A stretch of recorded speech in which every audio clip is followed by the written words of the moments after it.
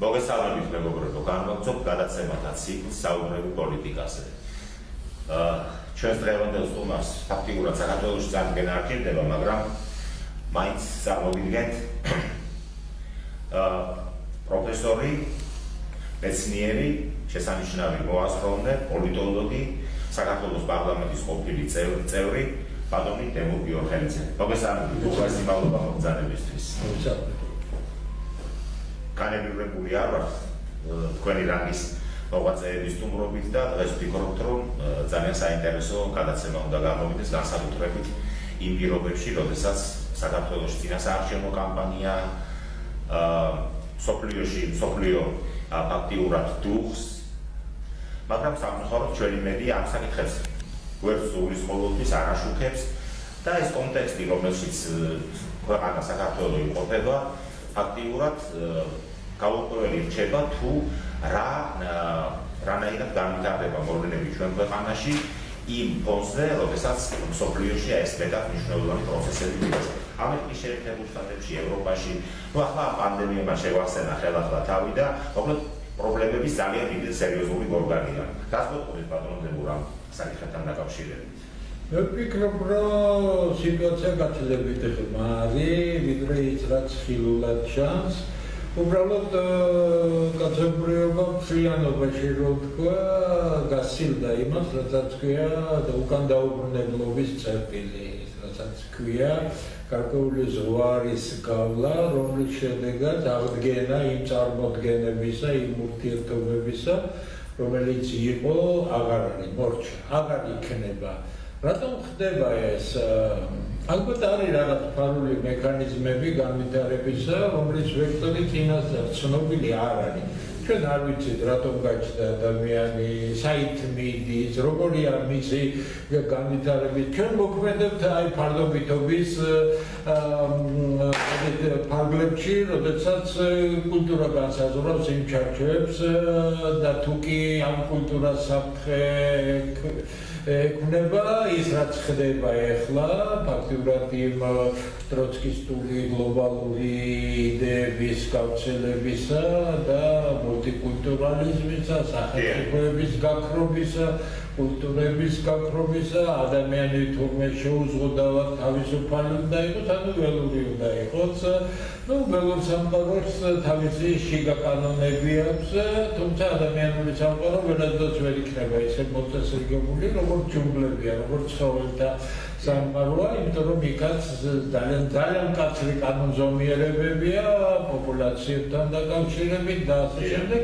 ადამიანი ყოველთვის იქნება მართული და თუ კი არ არის კულტურა, არ არის სახელმწიფო, ესე იგი არის მართვის სხვა მექანიზმები და რა ვფიქრობ, რომ ეს უკეთესია იმაზე ვიდრე არის. თანამედროვეობის ერთ-ერთი უდიდესი ფილოსოფოსი იტალიელი ჯორჯო აგამბენი ავითარებს საკონცენტრაციო ბანაკის იდეას. იგი ამბობს, რომ მას აქვს ძალიან ფანტასტიკური ძლიერი ნაშრომები, იგი იყენებს იმ რომის ეპოქის სამართლის ძალიან ძალიან საინტერესო და ასე რომ ვთქვა, ცოტა გაურკვეველ ტიპს, ეს არის sapiens პირი, რომელიც რიტუალურ შეწირვებზე ვერ გააკეთებ ასეთ რამეს, მაგრამ შეიძლება თავისუფლად მოკლა და უშელად. აი ამ დაახლოებით აქეთკენ მიდის ყველაფერი, ეს არის დიდი გლობალური საკონცენტრაციო ბანაკი, სადაც ადამიანები და ჰომოცაკერი იქნება. ძალიან ემსგავსება ბატონობებული, თქვენ ახსენეთ გლობალური ძლიერი წერალი აი ამ ფორმით რომელმაც შემოგთავაზა შესთავაზა საზოგადოებას მსოფლიოს ვთქვათ რომ ის თვალი დანახული თანამედროვე ეგრეთ წოდებული მულტიკულტურული საზოგადოება და ასე შემდეგ. არ არსებობს ასეთი სინამდვილე ხო რა თქმა უნდა რა თქმა უნდა ეს ყველაფერი შტამპებია გამოყოლი ასე ვთქვათ ჯგუფების მიერ მოგონილი შექმნილი ისევე როგორც ვთქვათ შობელიერი შობელიო და ასე შემდეგ. ну მანამდე აა რუსმა ლიტერატორებმა, რუსმა მწერლებმა შემდგომში მწერალმა ნიშნულოვან მწერალმა ორუელმა როდესაც შექმნა თავისი ანტიუტოპია აა ფერმა და შემდგომ 1984 ფანტასტიკურად არის აღმოჩენილი აი ესეთი ტოტალიტარული თუ ზე ტოტალიტარული საზოგადოების ფაქტიურად სახე, სადაც ადამიანი თითქოს თავისუფალია და თავისუფლება გამოიხატება იმაში, რომ არის ტოტალურად გაკონტროლებული მისი თითოეული მოძრაობა, მოქმედება, როდესაც იქნება აი ახალი ფაქტიურად ახალი რეალობა, ახალი ნორმალობა, როგორც დღეს ეძახიან, ხო? რომელიც არის აბსოლუტურად არანორმალური, აბსოლუტურად ტოტალიტარული, აბსოლუტურად გადაცდენილი აა ნორმალურ ჩარჩოებს ცნობიერება აბსოლუტურად არის შეხრეული ადამიანებისა, რომლებიც აი ამ ფერმში და შეიძლება რაღაცა მომენტში ვერც აცნობიერები და ის ვინც რაღაცა დონეზე აცნობიერებს თუ რა უბედურებაში ჩადგა ფეხი, როგორ უსწავლებია და რა ხდება იქ რაბიან შეიძლება და წარმოჩენილი ალბათ ჩვენი მსმენელი მაყურებელი ამას იცნობს და ამაზე ყურადღებას ამას შევაჩერებ. ну ახლა საქართველოში მიუხედავად იმისა რომ 30 წელია სწორედ სვლა მიმდინარეობს აი მიმართულებით ქართული და რა თქმა უნდა გარკვეული წარმატებები ამ ამას ჩვენს რეალობაში გააჩნია ამის მიუხედავად ამის მიუხედავად მაინც ძალიან დიდი ნაწილი ქართული საზოგადოების აბსოლუტურად აბსოლუტურად არ არის მზად აი ამ ახალ ნორმალობაში ცხოვრების და გარკვეულ წინააღმდეგობას შინაგანს თუ გამშვალებულსაც წევს. რაც გეტყოდით, რაიმე შედეგები გვექნება ამ მიმართულებით თუ ჩვენც განწირულნი ვარ სხვებთან ერთად ფაქტობრივად დახრობის პრობლემატიკა განსაკუთრებით მცირეებისათვის ისეთი პატარა ერთის როგორც საქართველოს რომელსაც გარშემო დიდი თუ პატარა დაწესებულები არიან გარშემო ხმოვნი და აი ამ რა შეიძლება ჩვენს ქვეყანას არის რამდენიმე არასწორი წარმოდგენა საქართველოს ისტორიასთან დაკავშირებით და ჩვენს მომავალთან დაკავშირებით. პირველი ის რომ გარკვეულად სისუსტის აღიარება რომ არ მოხდეს თავშესაფარია მოძებნილი რომ საქართველოს იყო ცუდ გარემოცვაში აი სხვა მაგრამ მე არ ვიცი ერთი სახელმწიფო მაინც რომელიც უკეთეს გარემოცვაში. იყო თოვით შუაგულ ევროპაში აიღეთ იქაც არანაკლები მტაცებლები და ფაქტობრივად პირველი მსოფლიო ომის წინ მთელი ევრაზიის კონტინენტი იყო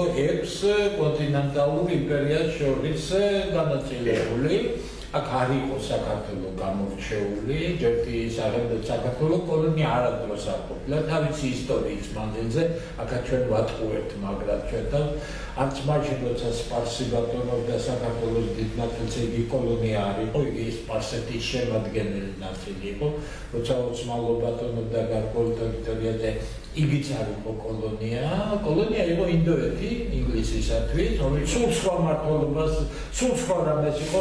რუსეთის იმპერიის დროს ჩვენ კოლონია არ დროს არ იყო, იმიტომ რომ ზუსტად იმ სახელმწიფოს შემადგენლობაში ვიყავით და იგი შეიძლება ანათემას გადაგცენ. აი ახლა მე ვერ გადავცემე ანათემას, იმიტომ რომ ჩვენ კოლონია უბრალოდ დავიყავით და ამიტომ ეს მცდარი ზერელე მოდით ასე ვთქვა ზერელობასთან დაკავშირებული წარმოდგენები შენ გიშლის სწორად გაიაზრო ყველაფერი რაც არის. როგორც შეიძლება ისაუბრო კოლონიაზე და ჩვენთან სახელმწიფოს შემადგენელი ნაწილი ხარ და ზუსტად იგივე კანონებია როგორც იყო თქვა ვოლოგდის გუბერნიაში ან თუნდაც მოსკოვში პეტერბურგში. აფერია ისევ ოსმალეთთან დაკავშირებით და იგივე იყო სპარსელებთან დაკავშირებით. ამიტომ ეს არის თავის მოტყუება თვითონ რატო ვიცით შენ არ გინდა გამართლო და ჩახედო ის რაც გააკეთეს ევროპელებმა თავის დროზე როდესაც გააშიშვლეს საკუთარი ისტორია. ისტორია ისეთია როგორიც მოხდა იმიტომ რომ კავშირებითი კილო არ გამოდგება ჩვენს ჩვეულებრივ საუბარში იმიტომ რომ ასე რომ ყოფილიყო ეს შეიძლება დღეს უკვე ძალიან სერიოზული თანამედროვე მეცნიერების ფუძე მიმართულება რაც არის არაცვლილი დინამიკა ის ხდება უკვე ისტორიული პროცესების მოდელირების ერთ-ერთი მთავარი წყარო და ჩვენ შეგვიძლია ვთქვათ უკვე სულ ცოტა დარჩა კიდე მათემატიკური აპარატი არ ყოფნის ზუსტად ამას, მაგრამ ჩვენ შეგვიძლია რა მოხდებოდა ასე ჩვენ შეგვიძლია ამ მოდელების მეთოდებით ესე იგი მივიღოთ ეს შედეგი რა მოხდებოდა ასე რომ ასე არ ყოფილიყო. ასე რომ ამ მიმართულებით რობოკიტის უნივერსიტეტში დაწყებულია მუშაობა და როგორც კი პირველი შეკრების საშუალება იქნება, მე თვითონ გავაკეთებ მოხსენებას, იმიტომ რომ მე ვიდა გავერკვე მთავარ რამეში. სად გავიარეთ ჩვენ ის ეტაპი, როცა ჩვენი განვითარება შეჩერდა. ერთი მხრივ ჩვენ ევოლუცია თავპირველები არ ვიყავით, მაგრამ არც ბოლო არ ვიყავით, ნეოლითი ჩვენ საკმაოდ კარგად გავიარეთ, კარგ დროს გავიარეთ. მაგრამ მოხდა შემდეგ რაღაც, რომელშიც გასაკვებია, როცა ჩვენი განვითარება დაიბლოკა. დაიბლოკა საშინაო მიზეზებით, საგარეო მიზეზებით, მაგრამ ჩვენ ჯერჯერობით პასუხი ზუსტად არ აქვს, რატომ მოხდა. ეს აუცილებელია, რომ ჩვენ არ გავიმეორებთ ეს შეცდომა და ჩვენი განვითარების ვექტორი ისეთი იყოს, როგორც ჩვენი კულტურის წიაღიდან მოდის. რა შეიძლება იცით, კულტურა არ არის ინვარიანტული დროში.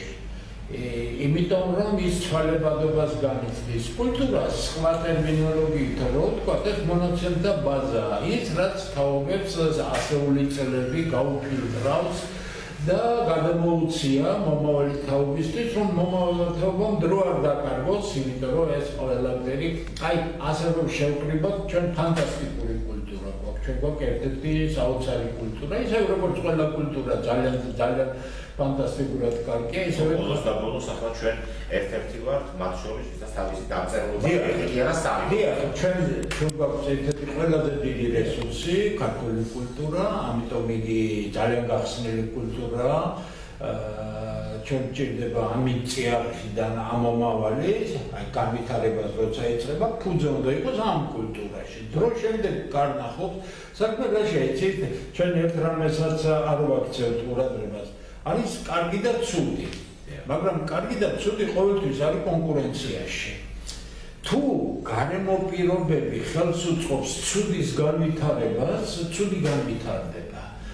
და ვერ მოსწობ მას ხელოვნურად. თუ პირობები ისეთია, რომ კარგის განვითარებას უწყობს, კარგი ვითარდება. ეს ასარებელა ბატონოდებო, რომელიც სარებელა ვექტორი, რასაც ნიადაგი კვებავს კარგად, ადამიანები მიდიან იქეთკენ, მოდით ფუნდამენტალური კანონიდან გამოვიდეთ მინიმალური წინააღმდეგობით. სად რა პირობებში ისინი აღწევენ იმ მინიმალურად საარსებო რომ იტყვიან მინიმუმების მიღწევას თუ ამისთვის სიგლახია საჭირო და არა სიკარგე მაშინ ცხადია სიგლახე ვითარდება.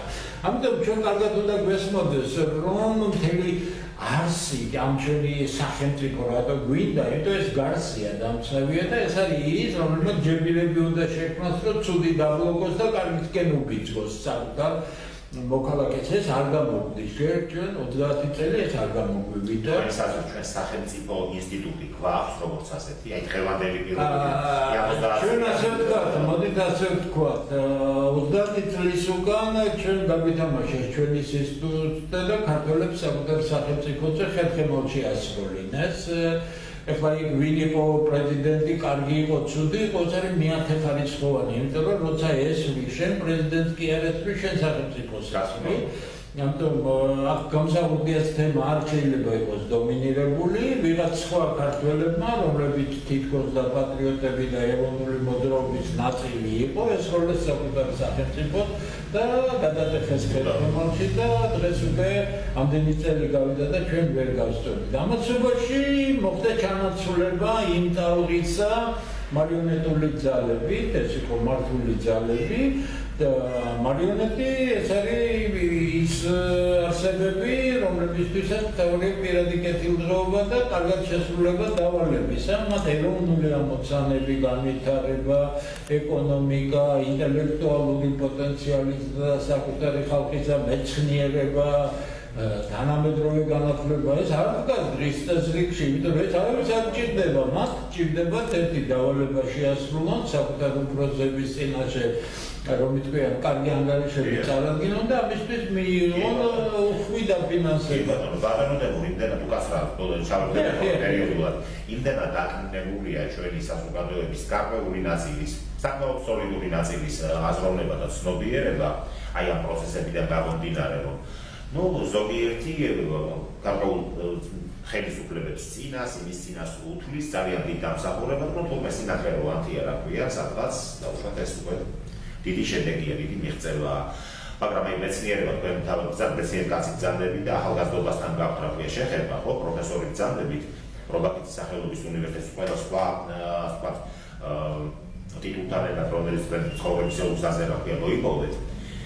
აა და ადამიანები აბსოლუტურად გვერაცნობიერებენ იმას რომ აი გზის დაგების პარალელურად ხდებოდა თავად მეც გამოგეხმაურებით ამ საკითხში მოხდა აბსოლუტურად არა მხოლოდ ეკონომიკური პოტენციალის მოსპობა თუ თქვა ნიველირება თავთავიდან ბოლომდე გამოგანოება საზოგადოებისა არამედ მოხდა გამოგანოება აზროვნების მათ შორის არა მხოლოდ მატერიალური ფიზიკური არამედ აზროვნების რაც ყველაზე უფრო დრამატული საკითხია რამდენადაც თვალსა და ხელშუა საკმაოდ მნიშვნელოვანი პოტენციალის პოტენციალის მატარებელი ქვეყანა, რომელსაც საქართველოს წარმოადგენდა კარგასულ უკვე აც კარგასულ ეპოქაში კომუნისტური მართლობის პირობებში ეს ზარდი იყო ეს ყველაფერი კონას მეცნიერებათა აკადემია და აგრობრივი ასე ვთქვათ ინსტიტუტები, რომლებიც საკმაოდ მნიშვნელოვან როლს ასრულებდნენ ჩვენი სამეცნიერო სკოლის განვითარებაში, ხო?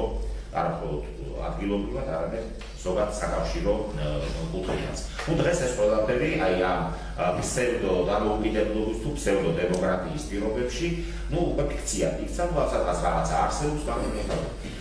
ეს დღევანდელი რეალობაა. ეხლა როგორც პროფესორს, როგორც ახალგაზრდობასთან ასე ვთქვათ, უშუალო კონტაქტის და ჭირო კონტაქტის მქონე პიროვნებას პროფესორს აღზრდებს რაც ვთქვათ აი ახალგაზრდა თაობის შეხედულებებზე? მათი განვითარება როგორ ხდება? ჩვენი თაობა ადრე თუ გვიან კლასია მოწყობილი წუთი სოფელი ნუ ვარ შემდეგში შემდგომ ასე ვთქვათ ნუ ჩვენ ალბათ აღარ ვიქნები გარკვეული პერიოდის შემდეგ. აი რა შეეხება ახალგაზრდებს? ხდება ახალგაზრდების აი ამ ეროვნული პატრიოტული თუ წმინდა ასე ვთქვათ პროფესიონალური ნიშნით ორგანიზება და მათ მათ მათი აზრობის საკითხი როგორ დგას. რას უნდა ვეუბნები? მოდი ცოტა სხვანაირად გიპასუხებთ. ჩვენი ტრაგედია იყო ის, რომ ტოტალიტარული რეჟიმი, რომელიც იდეოლოგიაზე იყო აგებული, მას ჰქონდა ტექნოლოგიური რამდენიმე ინსტრუმენტი, რომელიც ათეული წლებით იმუშავა. პირველი ეს იყო იმისთვის რომ მორჩილი იყოს ადამიანი, მითი ინფანტილიზაცია უნდა მოახდინო. დიდი ადამიანი, ძდასრული ადამიანი უნდა გააბავშვა. როგორ გააბავშვებ? შენ უნდა აგზნობინო მას, რომ ის არავინ არ არის. მის გვერდით ადამიანები ასევე არავინ არ არის, მაგრამ ის უფრო ის არის ყველაფერი. ინფანტილიზებული ქართველი ეს არის უფროსზე ატრონზე დამოკიდებული ადამიანი, ბელარზე დამოკიდებული ადამიანი, მეორე შიში და მესამე სიგარები. ესე იგი, აი დოსტოევსკის ტრიადა რომ ვიღოთ ჩვენ, როგორც არის იგი ვანე კამრამაზოვი როცა ეს არის ავტორიტეტი, სიგარები და ეს არის შიში. ბოლშევიკებმა ეს ყველაფერი წინვალეთ გამოიყენეთ, მათ დააშინეთ ადამიანები, მოჩვენებით დილდროობა შეუქმნეს და სინამდვილეში მისი შრომის მცირე ნაწილი დააკმაყოფილეთ, ხოლო და ამ დროს როცა დაინგრა ეს სისტემა ჩვენ არ დაგვინგრევია, კიდევ ეს დაინგრა, მიზან მიმართულად ანგრიეს და დაინგრა, შიგა ხელთ დღეს უკვე ყველაფერი ცნობილია და იგი ფაქტიურად გარეზე მოქმედებით მიიყვანეს იმ დონემდე, მაგრამ შიგა ხელისუფლების უმაღლესმა ეშელონმა დაანგრია იგი საბოლოოდ. და ეს იყო მიზანმიმართული გრევა. მოხდა ის რაც ახალ სახელმწიფოში არ აღმოჩნდა მზად ელიტა რომელიც იქნებოდა პასუხისგებლობის პოლიტიკურად აი რომ ვიტყვიან მზად მყოფი იმისათვის რომ მომენტის სირთულე დაენახა და ეს სახელმწიფო რომელიც ჩაგიბარდა ხელში საუკუნეებით ოცნაოცნებარი შემდეგ სამწლიანი გაელვება და შემდეგ ისევ მოპოვება და გაგეყვანა დანის პირზე და ნელ-ნელა ნელ-ნელა იგი გაგეძლიერა მის ნაცვლად ჩვენ მივიღეთ ემოცია და ფაქტიურად დაინგრა ის სახელმწიფო და გაჩნდა ხალხი რომლებმაც ზუსტად ტოტალიტარული დასავლეთი, ეს ხო ლიბერალიზმი, ეს ხო თვითონ თავისუფლება და ასე შემდეგ. სინამდვილეში ყველაფერი ეს ჩემი თაობის და თქვენი თაობის გაცმა იცით. ეს არის მე-19 საუკუნის 10-იანი წლები, 20-იანი წლები, ბოლშევიკური იდეოლოგია, როდესაც სექსუალური თავისუფლებები ეხლა ეს ძალიან კარგი ის ფაქტიურად ჩვენ ეს მხოლოდ სტალინის ეპოქაში მოხდა იამისი ასე თქვა. დიახ, ეს ოციანების ბოლოსკენ დაიწყო ამის აი ამ ბოლშევიკური მანჩურის განათლების სისტემა და აღდგენილი იქნა 1929 წელს, ეხლა მივედი თქვენს კითხვაზე, 1929 წელს ყველა ის ბოლშევიკური გადახრა განათლების სისტემაში, რომელიც დაუშვეს ბოლშევიკებმა, ეს იყო და დაემგრათ კინაღამ თავზე, იმ წუთში შემდეგ ზუსტად სტალინის პერიოდია, როცა 1929 წელს თავიდან ბოლომდე აღდგენილი იქნა მეფის რუსეთის განათლება. ის კი სხვა არაფერი იყო თუ არა კლასიკური გერმანული განათლება. ამიტომ დროვანდელი უბიცები და ნეოტროცკისტები მოგეუბნებიან ჩვენ რომ საბჭოთა განათლების სისტემა უარგიცი იყო, არანაირი საბჭოთა განათლების სისტემა არ არსებობდა. ეს იყო კლასიკური გერმანული სისტემა, ჩემი დროის სკოლაში მეათე კლასში შემოიტანეს საზოგადოებრივი მცოდნეობა და ჩვენი გაკვეთილზე უბრალოდ ვიცინოდით ისე დრამებზე გასაუბრებოდნენ და საგები ხო? ის აბსოლუტურად მე ქუთაისში ვსწავლობდი 32 სკოლაში მე არანაირი იდეოლოგია ჩემ სკოლაში არ მინახავს არანაირი იდეოლოგია კიდევ კრეხელი უნდა იყო ადამიანი რომ მოიგონო. მე მყავდა შესანიშნავი მასწავლებლები ახლა როცა უყურებ ისინი მასწავლებდნენ მე და სკოლა ორიენტირებული სწავლებაზე სადიკო სადისწავლე ზათბილისში რა სკოლები იყო ასეთი ასეთი მოწამლული ხალხი რომ გამოზარდა ვერ გავიგე. არა მომია ეს გლობალურ ხასიათს მაგრამ ამან მიიღო ის რა თქმა უნდა ესე იგი საერთმივი ვარ ის განათლების სისტემა გაუმჯობესებას მოითხოვდა უკვე დროსთან მიმართებაში ზედმეტი იდეოლოგიური თუ რამე იყო იმის ჩამოცილება ფანტასტიკური სისტემა იყო უკეთესი არ არსებობს უბრალოდ ვერავინ ვერ მივიდა უკეთეს განათლების სისტემაზე. ფაქტობრივად საქართველოს არაფერი იციან იმის შესახებ მაგრამ 50-იანი წლების ბოლოს ამერიკული დელეგაცია იყო სპეციალურად აი ეს პირველი გაშვებები რომ მოხდა კოცმაში ამერიკის უმაღლესი განათლების სრული რეფორმა მოხდა საბჭოთა უმაღლესი განათლების ტექნიკური საბუნებისმეტყველო განათლების ბაზაზე და შემდეგ უკვე გადაუსვა ზუსტად ისე გაკეთდა. აი თქვენი ისეთი ცნობილი შერწყმა განათლების და მეცნიერების ფიზიკა ტექნიკური ინსტიტუტი და ასე შემდეგ და ასე შემდეგ საოცარი რაღაცები იყო ხო? ჩვენ მივიღეთ ჩვენ მივიღეთ ის რომ თურმე ეს განათლება არ ვარგოდა და ეს მოანგრიეთ და საშუალო სკოლა ისე ბატონო ბოდიშის ეს რომ მომზადებული პირველ რიგში თუ გვემახსოვრება თქვენს და ჩვენს ვახსოვს ერთ თაობის ადამიანები ვართ არსებითად პირველ რიგში პირველ ამოცანად დაისახეს მე გეტყვით, მე ვიყავი იმ პირველ ჯგუფში მიწვეული, ეს 2000 წელს, როცა დაიწყო ამ ჯგუფის შეკრება, უკვე უკვე აკრება. და მე ვიყავი მიწვეული იქ, რამდენიმე ცნობილი სახის შემდეგ განათლების ministrები და ასე შემდეგ. მათი პირველი რეაქციები იყო მე მანე დავტოვე ეს ჯგუფი, იმიტომ რომ ხედავდი ადამიანებს, რომლებიც საინჟინრო საბუნების მეტყოლო განათლების მტრები იყვნენ, ხა დიდად ჰუმანიტარები, მე ცნობილი იდეოლოგიური ინსტიტუტების რექტორები, განათლების მინისტრები, ვაი, ვაი მეცნიერები, ვაი პიროვნებები.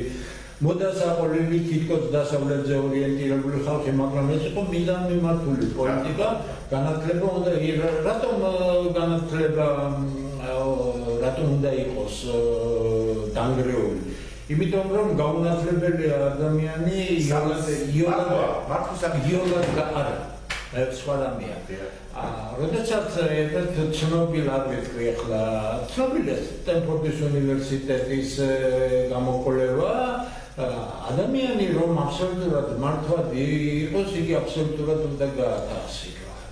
დათახსირებული, ღირსება წარქმეული, ოჯახდანგრეული, ისტორია დანგრეული, ენა დანგრეული, კულტურა დანგრეული ადამიანები წინვალად სამართავი, იგი უკვე ცხოველია, იგი არაფერს არ წარმოადგენს, ის პიროვნება არ არის. ამიტომ როდესაც საქართველოში დაიწყეს განათლების სისტემის გრევა და 30 წელი ამ განათლების სისტემას ნახეთ ყველაზე საშინელება თუ შეიძლება იყოს მინისტრებიდან და ცნობილი ყველა ამ უწყებაშია. ისინი ეხლა 25 წელი უკვე გრანტების ქვეშ არიან ვადიან ტრენინგებს და ასე შემდეგ. საკუთარი კეთილდღეობით უყავენ იმას რასაც ქვია ახალი თაობა ეხლა რა შეიძლება ახალგაზრდა თაობებს? ახალგაზრდა თაობებს რასაც მე ხედავ ძალიან რთულ საგნებს ვასწავლე ისეც ვერ როგორიც აღრე იმიტომ რომ მე ისწავლე უბრალოდ მაგრამ ეს არის სკოლა დეფექტა მიღებული ახალგაზრდები, რომელთაც ბაზისი ძალიან სუსტი, მე ყველა წინვალე სტუდენტები, ახლა არაერთი მათგანი დოქტორები, პროფესორები არიან, როცა მე სრულიად ახალგაზრდა, მაგრამ მე მკითხულობდი სანამ ეკონომიკას მოკიდებ ხელს, მე ძალიან შორს წასულ რაკეტულ ტექნიკასთან დაკავშირებულ სამეცნიერო პროექტში ვიყავი ჩართული, დახურული თემატიკა იყო.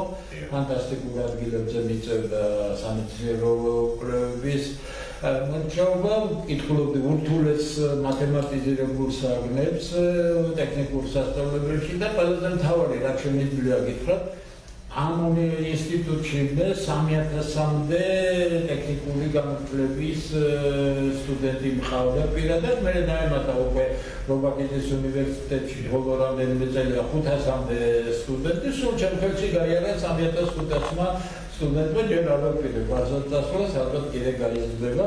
მაგრამ რატომ მოვიტანეთ ეს ახალგაზრდები არიან მე ყოველგვარი ვაშაპატრიოტიზმის და ეს არის საოცრად გონება გახსნილობა მე ვერ ვიტყვი რომ ბევრი ვინმესთან მქონია ურთიერთობა მაგრამ ოსაბჭოთა სივრცეში ბალტიისპირეთის ქვეყნებში როცა კონფერენციებზე ვიყავი როცა მისაუბრია ახალგაზრდებთან, ახალგაზრდა მეცნიერთა შეკრებებზე ყოფილვარ და ასე შემდეგ.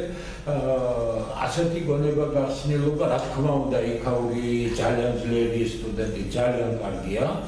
მაგრამ ქართველები როგორც იმ კარგ გარემოში მოხდებიან, იმათზე უკეთესები ხდებიან. მაგრამ გონება გახსნილობა, მასიური გონება გახსნილობა დღეს იმის გამო რომ სკოლა ძალიან მოიკოჭლებს ესეთი მასშტაბი არ არის. თუმცა ძალიან კარგი ახალგაზრდები არის და მათი ბრალი არ არის რომ ისინი ამიტომ მე არ ვფიქრობ რომ ახალგაზრდობაში ჩვენ გვაქვს პრობლემა არა გვაქვს ჩვენ გვაქვს პრობლემა ხელისუფლებებში ჩვენ გვაქვს პრობლემა განათლებაში პოლიტიკაში და აქ ჩვენ მოვისუსტებთ ძალიან.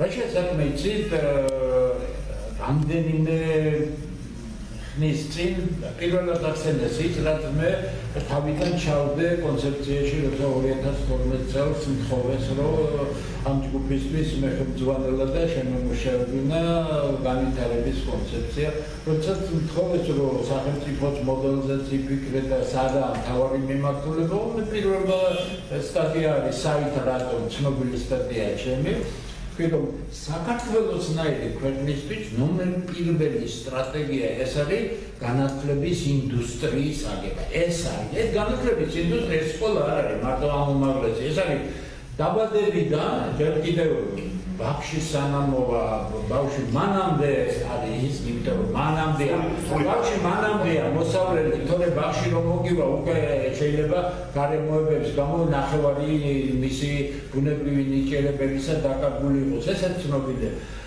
უნივერსიტეტი აიზბერგის ბოლოში არის წეროში მეცნიერება, მე არის მანამდე კიდევ ინსტიტუტის მერე და უნივერსიტეტის მერე მუდმივი პერმანენტული განათლების რეჟიმები. ამაზე დიდი რამე და მე მაშინ დავთვალე პირველად ფული რა იყო საჭირო, აი შემთხვევით არ არის დღეს რომ ახსენებთ. პირველად დასაწყისში 1-2 წელი სანამ ბრუნს აიღებ და განათლების რეფორმა 5% ფინანსი და პროდუქტიზა უნდა წასულიყო. იქეთკენ და შემდეგ უკვე 10-15%-ამდე ავიყვანდით 8-10 წლის განმავლობაში. შემდეგ უკვე 10 წლის შემდეგ, როცა პირველი სერიოზული შედეგები იქნებოდა რეფორმისა, ჩვენ გვაქვს აი ჭერი რო იყვნენ ჩვენ შევიძლია, იმიტომ უკეთესად ვერსად ვერ წავიღეთ, ფლიანში და პროდუქტის 20%-ამდე განათლებაში ჩავდოთ, ამაზე დიდ ვერაფერს ვერ გავაკეთებ. რატო? ეს ფული ათმაგად დაუბრუნდება ქვეყანას, იმიტომ რომ შენ არიცი შენი ნიჭიერი მოქალაქე რაც გამომაგდებს. ის ინოვაციები ის ყველაფერი, მაგრამ შენ კლავს ეს შემდგომ სოციალური განვითარების ასე. დიახ, დიახ, იმიტომ რომ შენ ვერავინ ვერ დაგეგმავს იმას, მაგრამ ჩვენ ვიცით ძალიან ძალიან უკვე ცნობილი კანონზომიერება, რომ განათლებული და ცნობის მოყარე ადამიანები გაისვრიან იმ აღმოჩენებს და იმ გამოგონებებს, რომელიც ცვლის სამყაროს. ჩვენ ხედავთ ამას ცნობილ ქვეყნებში, ხედავთ აღმოსავლეთის ქვეყნებში, მე მქონდა ოცნება, რომ ჩვენ 20 წლიანი პროგრამა გაგვეკეთებინა, რომ აი პირველი დიდი მეცნიერების რომ ვიტყვიან, დაგვებრუნებიან ნელ-ნელა ის რაც მქონდა მართალია მე ცოტა ნეგატიური რაღაცები მოეძალა, მაგრამ გასწორებები ისა შენ გიჭირს აწყო, თორე შენ აწყობილი ქონდა მათემატიკური სკოლა, ფიზიკოსების სკოლა, საინჟინრო სკოლა ესენი და ამიტომ რა თქმა უნდა, აბსოლუტურად გეთანხმებით. ოღონდ უნდა იყოს სახელმწიფოს ნებელობა რა. რაში წარმოიცით ხელისუფლების გარეშე ასეთი მასშტაბი აკეთდება. იმიტომ რომ ხელისუფლება თუ ამბიციური არ არის და ამაზე არ არის ორიენტირებული, რა თქმა უნდა, თუ იგი ყოველდღიურ ამოცანებში საკუთარ მიზნებს ემსახურება და მხოლოდ გადარჩევაზე ოცნებობს, მას ძელვადიანი და განათლების პრობლემები რაში ჭირდება. სამაგიეროდ იგი აკეთებს იმას, რასაც დღეს ხედავთ ჩვენ ეს არის გამანადგურებელი განათლების სამინისტრო, რომელიც ანგრევს საქართველოს მომავალს. კიდე გეუბნებით, ეს არ არის უბრალო, არა, თავის თავაცხადია. მე ერთი კითხვა მინდა დაგისვათ, აი ცოტა უფრო შორიდან მინდა დავიწყო. აი ამ გლობალიზაციის, ეხლა კი ეს ყველაფერი თითქოს მიდის თავისი დასასრულისკენ, მაგრამ სხვა საკითხია შეიძლება ამ მოიყოლოს ყველაფერი და დაამსხვრიოს და ანგრიოს ეს ასე ვთქვათ, აი ისიც კი რაც არსებობს თავში, არა მხოლოდ ჩვენში, არამედ ზოგადადაც, მაგრამ ამ ყველაფერს აქვს თავისი პრეისტორია, მათ შორის საკმაოდ შორეული წარსულიდან მომდინარე.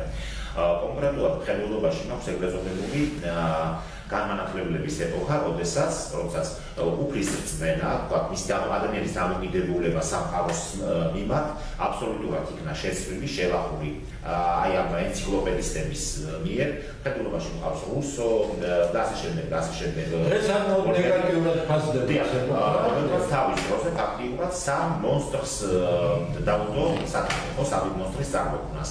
ერთი თქვენი საუბარი გარკვეულზე, თქვა, ბოლშევიზმი, თქვა, ბოლშევიზმის სახით, არის ლიბერალიზმი, რომელიც დღესაც თქვა, გაბატონებული იდეოლოგია და ფაშიზმი. ხო? აი ეს სამი სათავიანი მუჭკული ფაქტიურად წარმოქმნა იმ ეგრეთ წოდებულმა განმანათლებლების ეპოქა.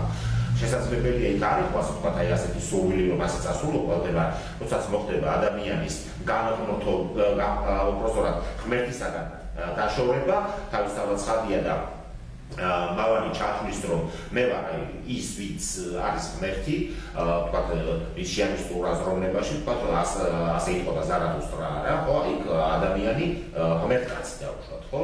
და მე ღმერთების სიკვდილი და შემდეგ და შემდეგ ეს ვიც ანუ ფაქტიურად ფაქტიურად გამოდიოდა რომ ამას მე შემჩენო ფაშისტური იდეოლოგიასაც თქვა მოერგო ანუ ზეკაცი ზე ადამიანი ანუ ადამიანი როგორც ღმერთი და თუმცა ნიჩეს ფილოსოფია მან ძალიან დამახინჯებული აქვს. ეს ეს ფასაკითხია ისე როგორც მე მე მოსწონი კითხვის შინარდი საქმე რო შეიცით განანათლებლობის ეპოქის ყველაზე დიდი რომ ითქვიან მიზანმიმართული დანაშაული იყო ის, რომ მათ არა თუმცა შეიძლება კათოლიკური ეკლესია, რომელიც სულ სხვა კულტურულ კონტექსში მოქმედებს და მართლმადიდებლური ეკლესია, რომელიც სულ სხვა კულტურულ კონტექსტში მოქმედებს, ჩვენ არ შევიდე ესენი ერთმანეთს, იმიტომ რომ მართალი ორივე ერთი მერტია, ორივე ერთი რელიგია და ასე შემდეგ და ასე შემდეგ. ხო, მაგრამ ისინი სხვა კონტექსტების იყო და ამიტომ მათ დაარწეს იმ კათოლიკურ სარწმუნოებას ჯერ კიდევ მანამდე, როდესაც ლუთერმა ცნობილი თავისი რომიტყვიან საპროტესტო გამოქვეყნა მაგრამ რა მივიღეთ ჩვენ ადამიანი ერთადერთი რაც ადამიანს ადამიანად აქცევს ეს არის კულტურა. ეს არის კულტურა შეხედულებათა სისტემა რომელიც აკეთებს იმ შავი ბუნების ჩვენ არბეთ დასამალი არ არის ჩვენ დაახლოებით იგივე ვართ რაც ცხოველი თუ კულტურა არსებობს ცხოველური ნაწილი ის შავი ნაწილი რომელსაც განვითარების არ უნდა მიეცეს მიმართულებები თუ შენ კლავ იმსამდენებს მაშინ შენ რჩები საუდენების გარეშე და ანუ რჩები ისე ველურად იქცები ველურად თუმცა შეიძლება ფრაზეოლოგიურად რაღაც ორიენტაციებში კონდეს შენიღული დღევანდელი თვალსაჩინოდან ათეისტობა და უღმერთობა დიდი კულტურაა გამიგეთ რა. განათლებული ინტელექტუალურ ადამიანს არასდროს ასეთი რამ არ მოუვა იმიტომ მან ზუსტად იცის ის კონცეპტუალურად რა არის სად არის ადგილი ამ ყველაფრის ამიტომ ამის წინააღმდეგ გალაშქრება როცა ალტერნატივა არ არის. ჩვენ ვერაფერს ვერ მოიგონებ ალტერნატივას. ქართულ რეალობაში ან კიდევ უფრო რთულად არის საქმე იმიტომ რომ მართლმადიდებლობა არის ქართული კულტურის სისტემოწარმოქმნელი ფაქტორი. ის არის ამ ფანტასტიკურ კულტურას სიმკაცრეს რომაძლებს ესე კიდე გეუბნები მე ხო ვერ დავიჩემებ როგორ მაგრამ მე გავიზარდე 4 წლიდან დასავლელი იმიგრანტების გარემოში ეს ხო ფანტასტიკური ხალხი ჩემთვის დასავლური ლათინური ამერიკული კულტურა ჩემი ქართული თავისთავად ერთად ერთად გავიდი ჩამოვყალიბდი მე ამაში ამიტომ მე იმიტომაც ვიყავი ბოლო პერიოდებში ბოლო 10-15 წელია ძალიან კრიტიკული იმისა რაც დასავლურიდან მოდიოდა იმიტომ რომ მე სამიყო ის ხალხი ვის გარემოშიც მე გავიზარდე ეს ფანტასტიკური ხალხი იყო. მათ მომწეს მე ის ლიტერატურის, მუსიკის, ასაკობრივი გლობალიზმის გარკვეული ყველაზე უფრო ერთ-ერთი ყველაზე უფრო დამახინჯებული ფორმაა და რომლისას თქვა და ეს აპოგეა არის ეს ნეოკონსერვატული. დი, დი, ჩათვლები ესე გაიჟღერდა მაგეთ მაგეთ კერმიძე, იმიტომ რომ სისტემა წარმოქმნილია, ეს არის ფანტასტიკური ღია გაცნელი კულტურა. მე ერთ-ერთ კონფერენციაზე, რომელიც ნატო საქართველოს ურთიერთობებს ეხებოდა, იქ პლენარული მოსენება მქონდა და მაშინ თქვი, რომ ჩემი ქართული აი დასავლური ორიენტირებული ხალხის უკულტურობის ნიშანია ის, რომ ისინი ამბობენ, ჩვენ დასავლეთიდან ფასეულობები უნდა წამოვიღოთ. ჯერ ერთი მოდი გავშიფროთ ყველაფერი. ფასეულობები კატეგორიათა სულ სხვა სისტემას განეკუთვნება, იცით, თქვენ ეს უზოგადად ეცნებიან, რომ არაფერი კავშირი დემოკრატიასთან არ აქვს, იმიტომ რომ დემოკრატიას არანაირი ფასეულობა არ აქვს. დემოკრატია არის პროცედურები, ადამიანთა ერთი ჯგუფიდან რა პროცედურებით უნდა გადაეცეს მეორე ჯგუფს ხელისუფლება, სხვა არაფერი არ არის. დასავლური კულტურიდან ჩვენ არაფერი არ გვაქვს წარმოსაღები, იმიტომ რომ ქართული კულტურა და დასავლური კულტურა ქრისტიანული კულტურებია და ფასეულობა და სისტემა ერთნაირია. აბსოლუტურად ერთნაირია. ის რასაც ფილოსოფიაში კატეგორიას უწოდებს. ზოგადად ნაგებს კეთილის ბოროტის გაგება ჩვენ დასავლეთთან არაფერი განსხვავება არ აქვს. ვერც იქნება, იმიტომ რომ საერთო საყდენი სანამ დასავლეთი ტროცკის ძრზე არ გადავიდა და არ მოანგრია საკუთარი რომ იტყვიან ფუძე საყდენები, შეულებრივი ბიბლიაზე აგებული კულტურა იყო და ამ დასავლური კულტურის რენესანსი სწორედ ქრისტიანული კულტურის რენესანსია. ეს პარალელურად სწორედ რომელიც მე ეკონომიკურ პროცესებზე ვრცელდება. ფერდი იმიტომ რომ იდეოლოგია დამანგრეველი. ტროცკიზმი იყო დამანგრეველი აი ახლა ალბათ ბრძოლა მიმდინარეობს სწორედ გარკვეული ფაქტორებიდან გამომდინარე, გარკვეული ისტორიული აუცილებლობა. შეხედულებათა სისტემია, რა თქმა უნდა, ბრძოლა მიმდინარეობს, უფრო ვთქვათ, აი ამერიკის შეერთებულ შტატებში, ევროპაში უკვე იჩინა გარკვეული გარკვეულწად ამ ყველაფერმა თავი. ნუ ჩვენ თან ჯერ ხუთბალი შევიძინოს, იმიტომ რომ ჩვენ დღეს სამწუხაროდ ჩვენ სამუბედროდ ჩავედით საქართველოს რჩება იმ ნეოლიბერალურ წყლაპოდ. კი, კი, აი აი იმ ტროცკისტების საფრთხე, რომლებმაც მოანგრიეს შეერთებული შტატები და დღეს სამოქალაქო ომის საფრთხე და ენათესადი ელიტა გასკდა გაიხლიჩა, შეურიგებელი გახდა, იმიტომ რომ ისინი სხვადასხვა იდეოლოგიურ ფუძეზე დაერნენ. დემოკრატები, რომელსაც სახელი დარჩა დემოკრატები და სინამდვილეში ნეუტროცკისტები არიან. ნეოკონსერვატორები, მარკეინები და ბუშები და ესენი, ესე გეუბნებით, ნეოკონსერვატიზმის ყველა მამამთავარი იყო იდეური, ახალგაზრდობიდან იდეური ტროცკისტი, მათ შორის ცნობილი ნიუ-იორკელი ინტელექტუალი, ნეოკონსერვატიზმის მამა ირვინ კრისტოლი, ეს ძალიან ძალიან. ის მამალი ტროცკისტი იყო ნეოკონსერვატორების იგივე ტროცკიზმი სამშობლოში როდესაც ხა იმ მაგნატის სახელი არ აქვს ერთი ებრაელი მაგნატი იყო რომელმაც და დელიტარული სასწავლებელი სადაც იღებდნენ აი ბავშვს პიროვნება რომელიც თქვენ ახსენეთ იყო აი სწორედაც იმ სასწავლებლის მოწაფეს ფული არ იყო ისწავლა კი ბატონო ფული არ იყო ისწავლა კი ასე იყო ასეთი კონკურო კონკურენტული გარემოს შესაქმნელად იყო ტროცკისტური ჯგუფი და იყო სტალინისტური ჯგუფი მაშინ ხო?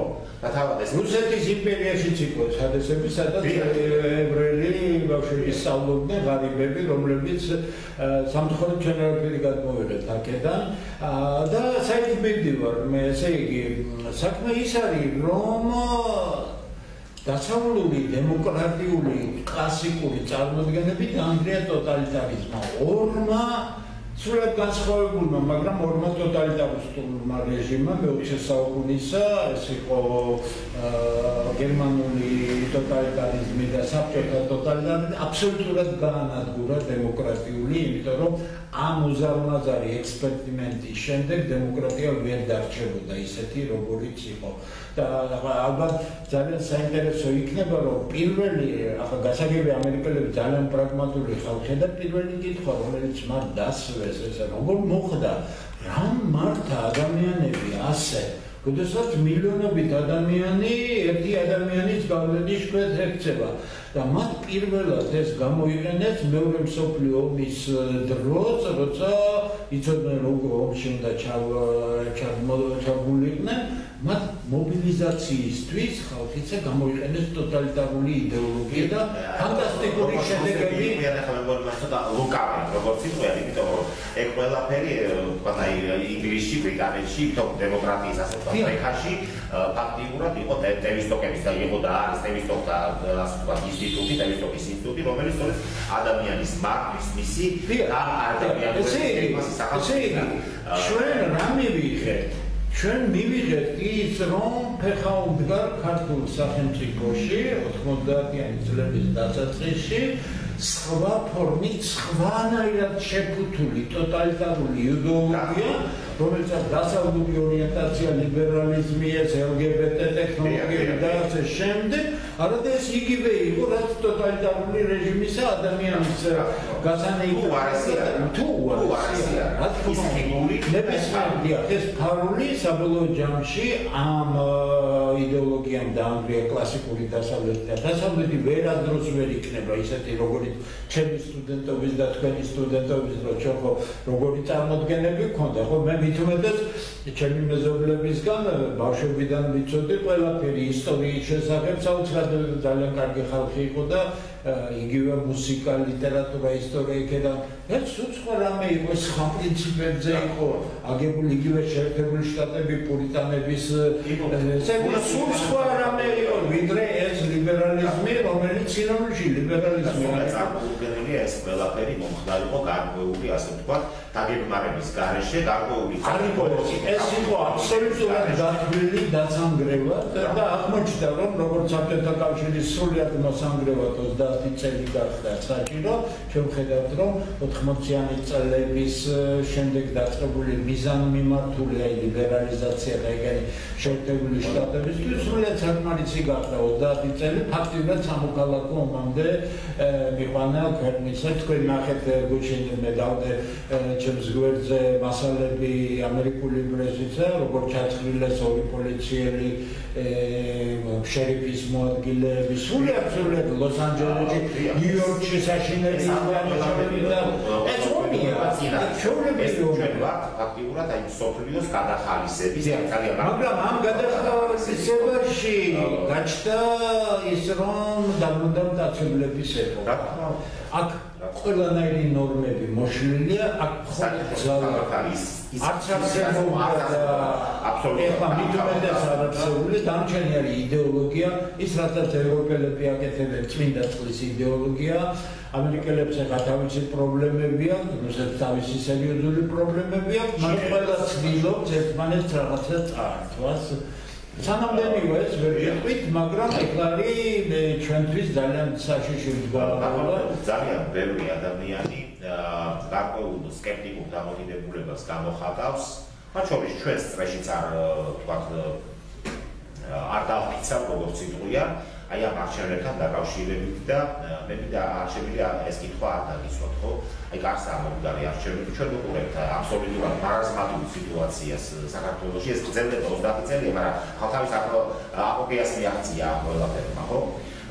ძალიან ბევრი ადამიანისთვის გარკვეული ასე ვთქვათ სიმაღლეა, როდესაც პარლამენტის წევრი და თქვენ პირობოდეს გავლილი გაქვთ.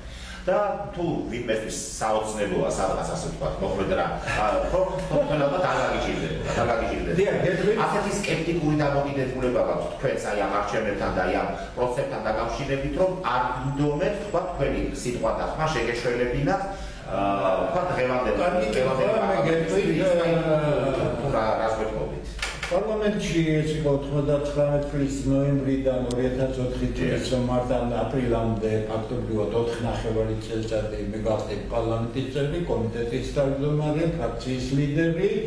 მე წამოვედი იქედან, ყველაც უარი ვთხარი, იმიტომ რომ ელიტა მზად არ არის ქვეყნის განვითარებისთვის, რეფორმებისთვის, არ არის მზად.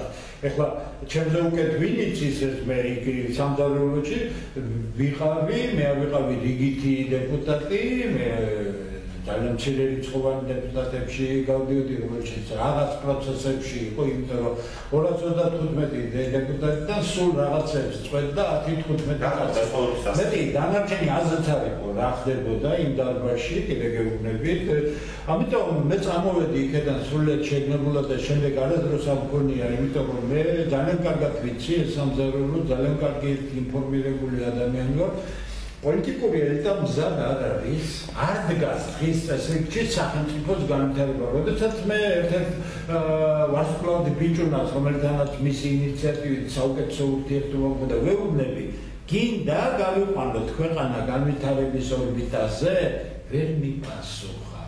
და გამოჩნდა რომ მას არ უნდა ყველაფერი. ამიტომ როცა ადამიანები ფიქრობენ რომ აი კარგი ხელისუფლება არაფერს ცხოვრობენ თან. არა, კი, კი, რა თქმა უნდა. მე გეუბნებით ახლა პარლამენტარობა კარგია ერთადერთი იმით რომ ჩვენ შეიძლება შენი ცხოვრება მოიწყო მატერიალური, ну გასაგებია ჩვენთვის ეს. ხო, სანაკუთრებო სიტუაცია, ხო, რა თქვენ არაფერი გეშვება. არაფერი გეშვება, მაგრამ თქვენ გაქვთ იქ მოდით ასე ვთქვა, წვდომა, ოღონდ როგორია, იცი, ჯამი ერთია.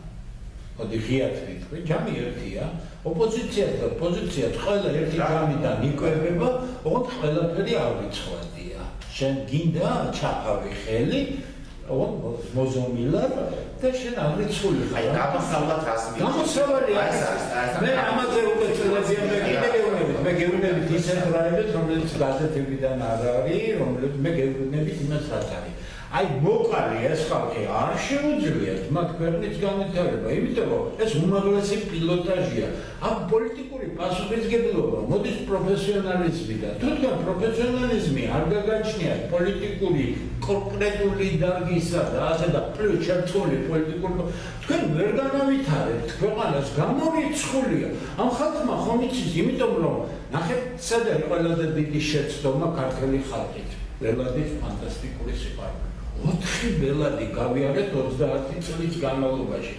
სია, საქართველოში სიას არანაირი მნიშვნელობა არ აქვს. რა მნიშვნელობა ბელადმა ვინ ჩაწერა შიგნით, ამიტომ ყველა მიცის, რომ იმ მატარებელში თუ შეხტნენ ის მოზომილი მცირე პერიოდია, ამიტომ უნდა ქაფონ, რაც შეიძლება. ბელადი დღეს არის ყალაღარი.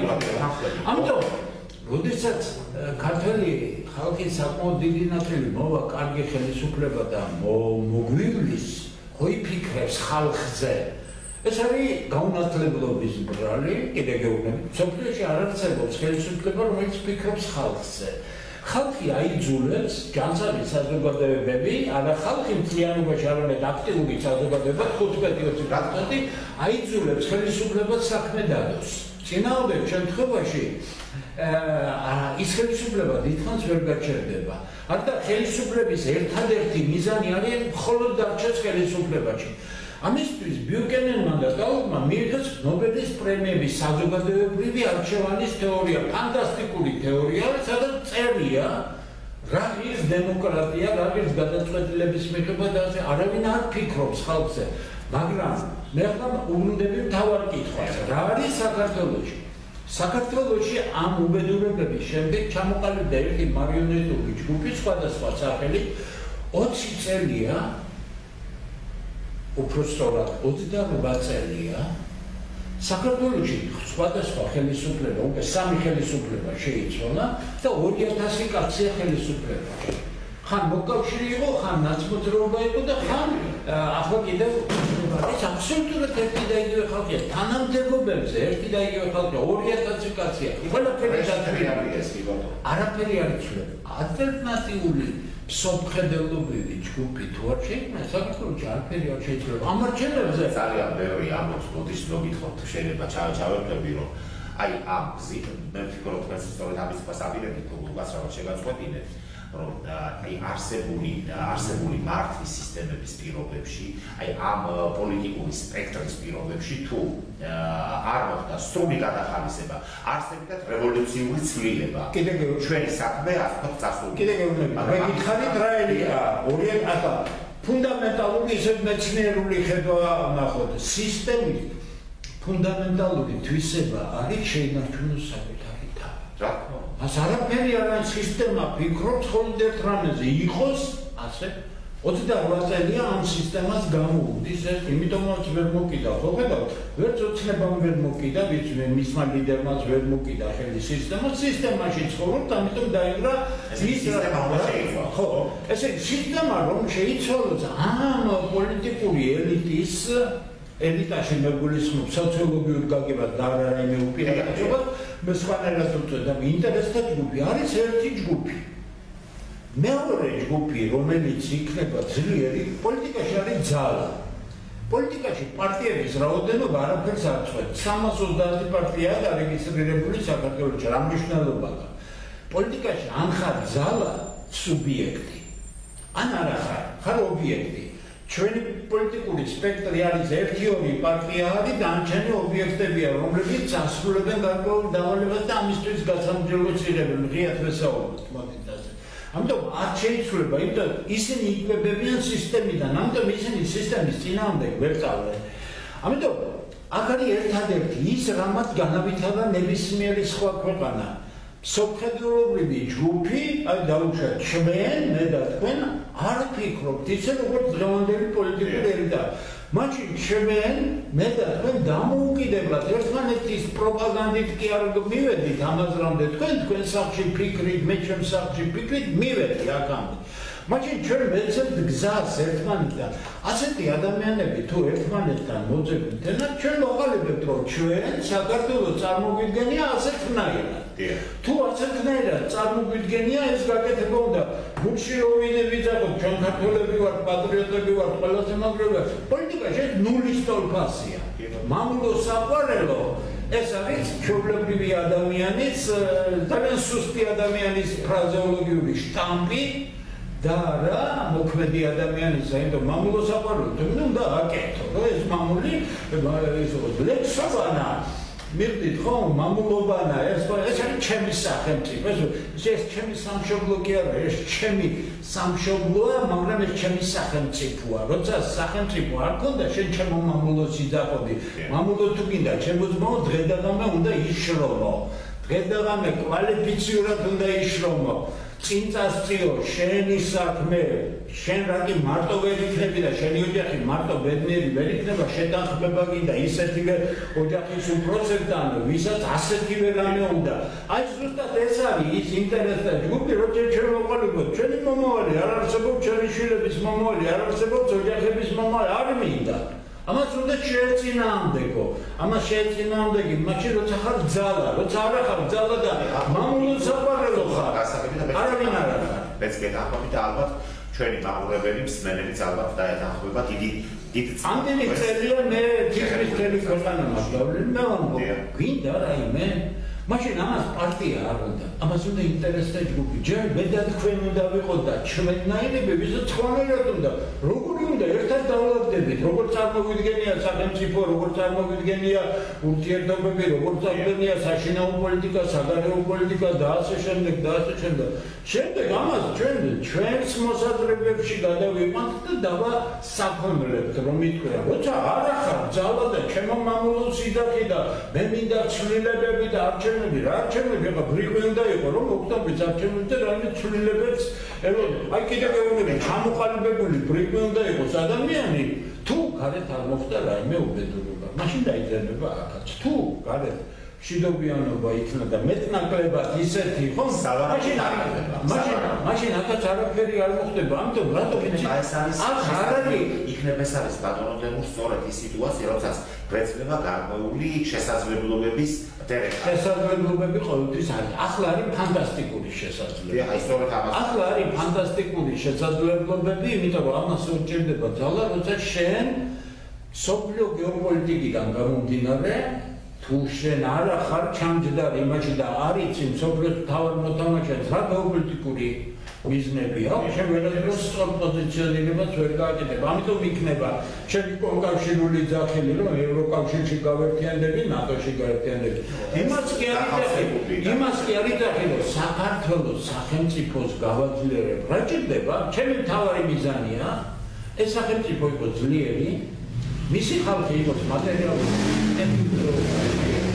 პლუს ამას მისი ინტელექტუალური პოტენციალი იზრდებოდეს და ჩვენ ვიყოთ კეთილგანწყობილი და ქონდეს საგი პროგნოზირებადი. პოლიტიკა რომ მეზობლებს თუ გარეთ უთხრა ჩვენგან საფრთხე თქვენ არ გელი ჩვენ ვიდა ვიყოთ ხიდი ამ დაპირისპირებულ ძალებს შორის ჩვენ ვიდა ვიყოთ ის ქვეყანა სადაც შეიძლება იყოს პლატფორმა დიალოგისთვის, საუბრებისთვის და არა თამაში ნულოვანი ჯანმრთელი. ანუ მე ვითამაშები. აი როგორც ჩვენ ბავშვობის დროს იყო ვიღაცა ვიღაცას რო გავახავდა, ის გაიქცეოდა და დიდ ბიჭს მოიყვანდა ვიღაცა. და ის დიდ ბიჭი შეიძლება მე წაუთარგებდა ამ პატარა ბიჭს და ანდა თუ ესეც მოიყვანდა დიდ ბიჭს, მაშინ გარაფერი არ გამოდიოდა. მეტად თემები იყო ჩემო მეგობრებო. აა ადამიანების ასე თქვა მდგომარეობა უნდა გავითვალისწინოთ რომ იმდენად ღრმად ინტელექტუალური მოსაუბრე ყავდა დღეს სტუმრად რომ ძალიან ძალიან ბევრი მნიშვნელოვანი თემა ჩვენ ვჭირდება აქ გავგადოთ აბსოლუტურად გეთანხმებით აბსოლუტურად გეთანხმებით. უღრმესი მადლობა მოგზაურობისათვის ბატონო დებულ იმედია კიდევ შევხვდებით ერთმანეთს. კიდევ უფრო დაწვრილებით მოუთხო თქვა თუ რაში მდგომარეობს აი გამოსავალი ჩვენი ქვეყნისთვის ჩვენთან სტუმრად გახდათ ქართველი მოაზროვნე, საზოგადო და პოლიტიკური მოღვაწე, მეცნიერი და პედაგოგი ბატონი დემო გიორხელიძე, ორმესი მადლობა მოგზაურებისთვის, ორმესი მადლობა მოთმინებისთვის, რომ აი ეს საკმაოდ რთულ თემებს შეეჭიდა ჩვენი მსმენელი და მაყურებელი სააზროვნო საქმე დიდი მიიღო დღეს, ორმესი მადლობა ყურადღებისთვის, მომავალ შეხვედრამდე. კარგად